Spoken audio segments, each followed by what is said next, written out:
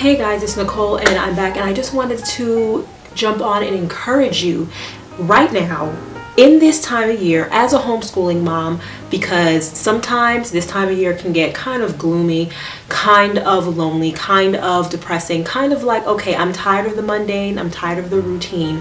What can I do? So if you're interested in this little pep talk video, stay tuned.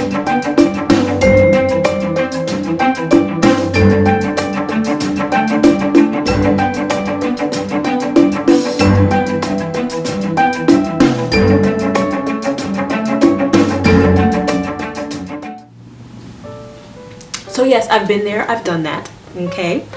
Um, this is my um, second year of formal homeschooling on the books through the county with the paperwork and all that. But pretty much I've been homeschooling my kids from birth. My oldest is six and a half. So I've been doing this thing with him or with all my kids at home for a while. So I understand that this time of year can be hard for you whether you're a homeschooling mom or not because the weather is starting to change. Um, if you don't have seasonal affect disorder, diagnosed on the books, but you might actually kind of start to feel a little more slower, a little lazier around this time of year because the sun is setting earlier, it's cloudier, it's colder outside. Um, you can't just take your kids outside as often as you like. Your kids start to feel sick around this time of year. The snotty noses, the, the, the, the coughing, the flu symptoms, all these things culminate in you just generally feeling like, look, I need a nap, I need a break. And I definitely have been there, done that.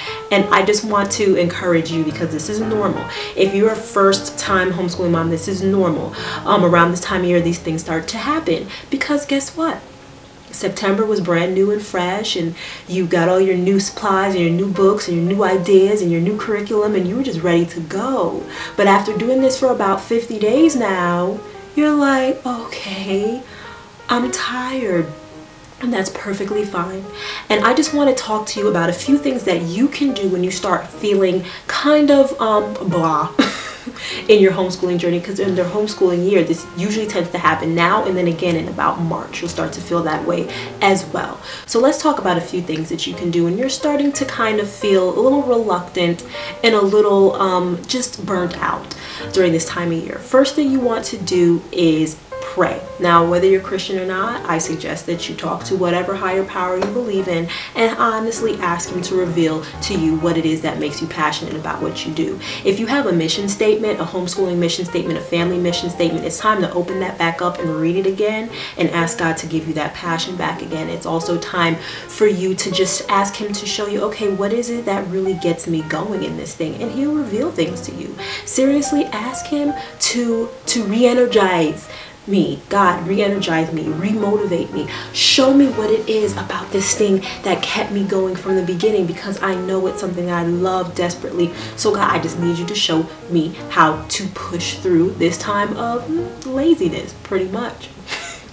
now, the second thing you need to do is you definitely need to realize that you are not alone okay? You need to reach out to a friend who's also a homeschooler. You need to reach out to your husband. You need to reach out to your close pals. You need to read some blogs. You need to do some googling some youtube searching.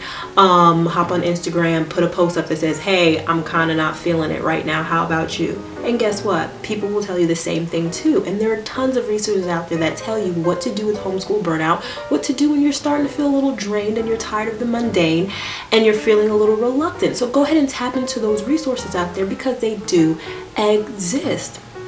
Number three, what you definitely should do is change up your routine.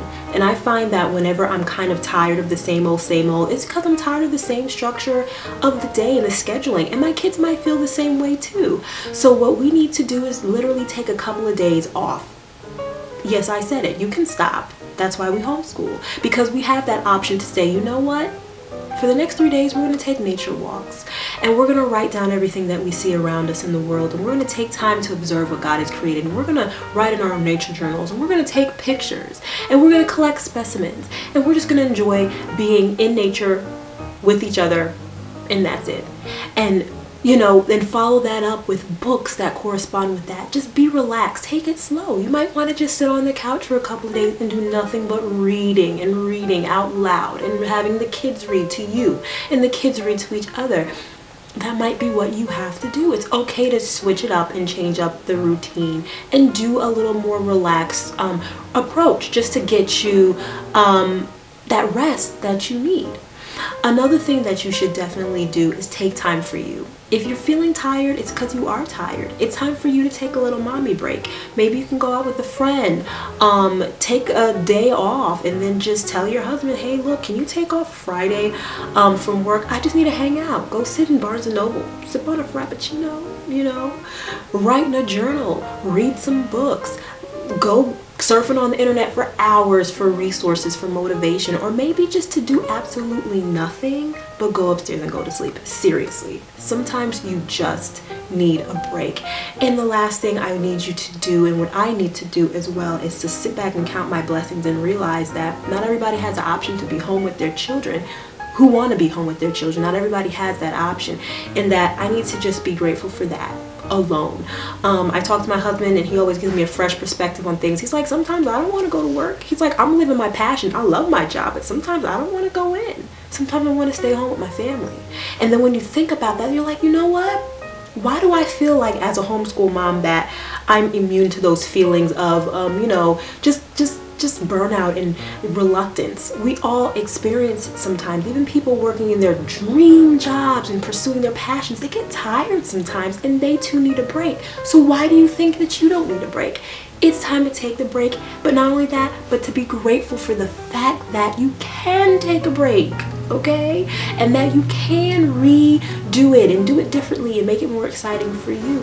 So I just wanted to pop on here and just give you the little pep talk that it's gonna be all right. All right. This doesn't mean that you need to stop homeschooling. This doesn't mean that this is not your cup of tea. This doesn't mean that you are the worst mom ever. It just means that you're human and it's normal. And guess what? After the holidays and after spending time with your family you're gonna feel awesome. And you might experience this feeling again around march because you want to just push through as the weather gets warmer. Now you just want to just be outside all the time. You want to just do other things all the time. But um it happens it happens but guess what? Stay true to the purpose that you've been called to do. Stay stay true to the passion that you have and just never let it die just because you feel kind of blah for a couple of weeks here and there.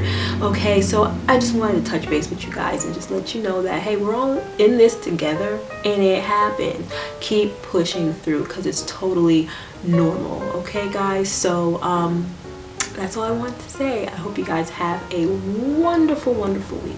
All right, bye-bye.